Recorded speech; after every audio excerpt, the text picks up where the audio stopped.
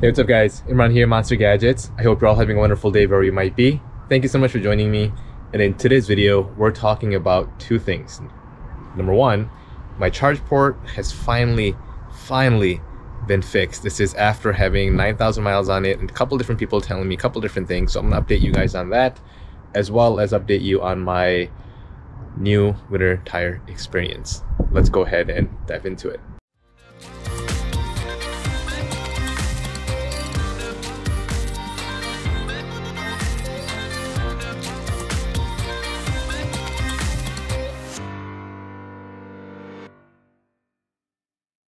All right, guys, here is Monster. Of course, she is fully clean. She or he? Should I call? I never realized if it's a he or she. I always call it Monster. Let me know in the comment section below. Do we want it to be a female or a male? Never thought of it that way. But anyways, uh, the update I want to give you guys today is, of course, on the charge port. If you have not checked out my previous video, delivery day video, as well as a couple other ones. I have mentioned um, the issue with the charge port, uh, which real quick, I'll tell you again what it was.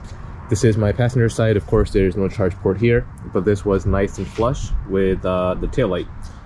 On this side, that was not the case. And now it is actually almost fully flushed.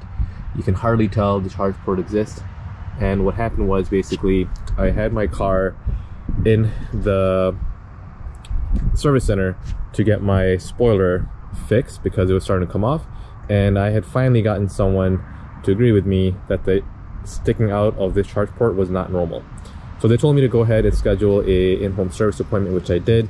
Now the story behind that is I had it set for Thursday of last week and somehow the mobile team automatically canceled my appointment, uh, sent me a message in the app and I'll try to pull up the message now if I can and I'll pop it on the screen. Basically telling me that that's normal and uh, they canceled my appointment. I was really, really bummed out about that because I was waiting for, I think, almost like four or five days for them to come out and do that.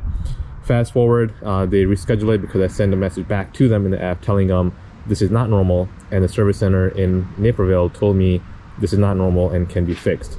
So they went ahead and rescheduled it for later that following week.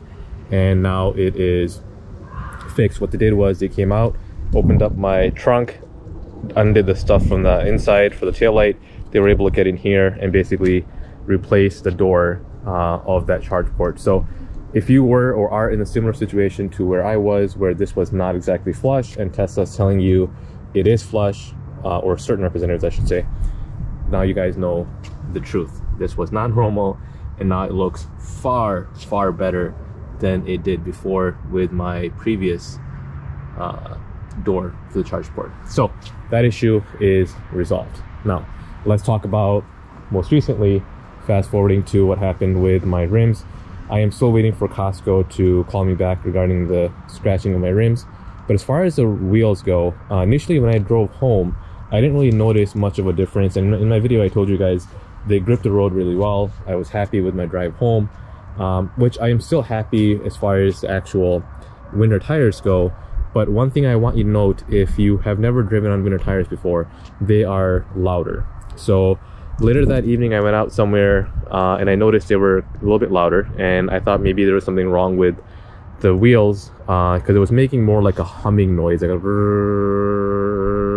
type of noise. And I probably did a terrible expression of that.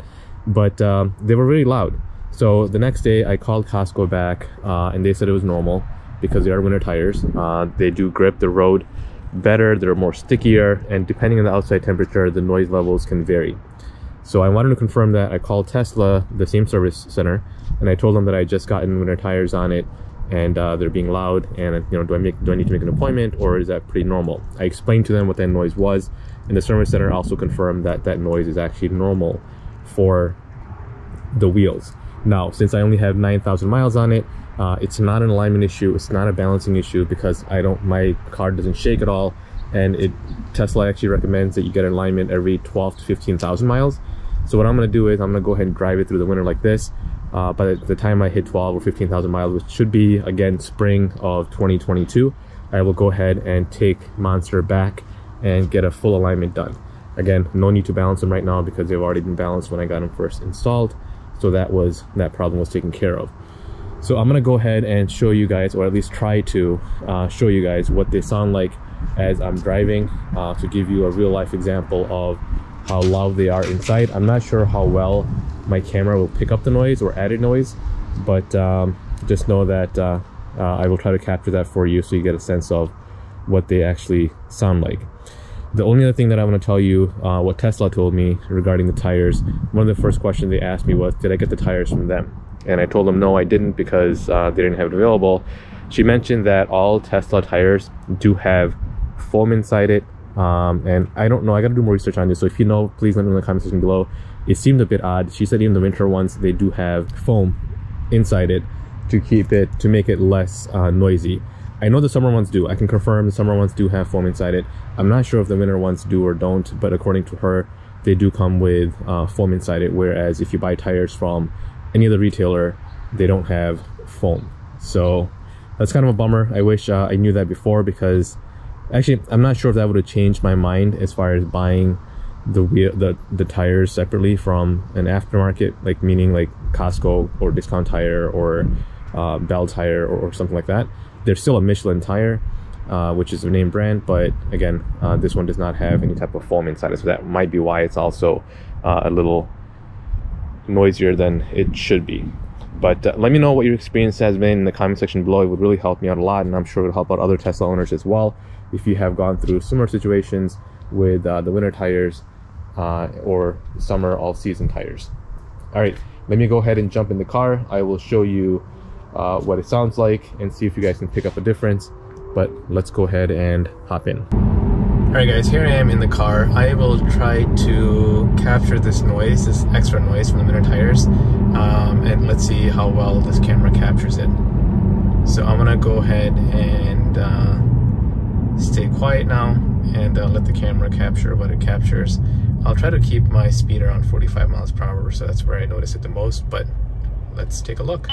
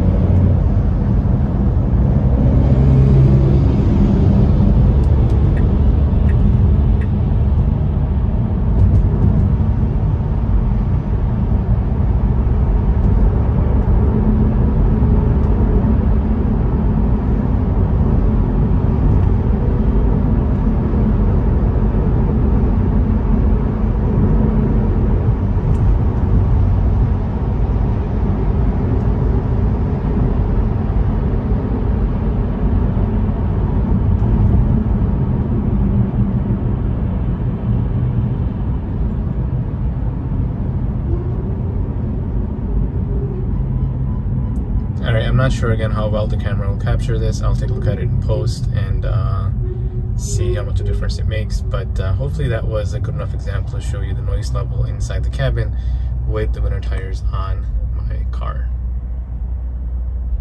Alright guys, I am back home. Hopefully you guys were able to pick up that noise in the camera. I won't know about it until I actually go to edit my video.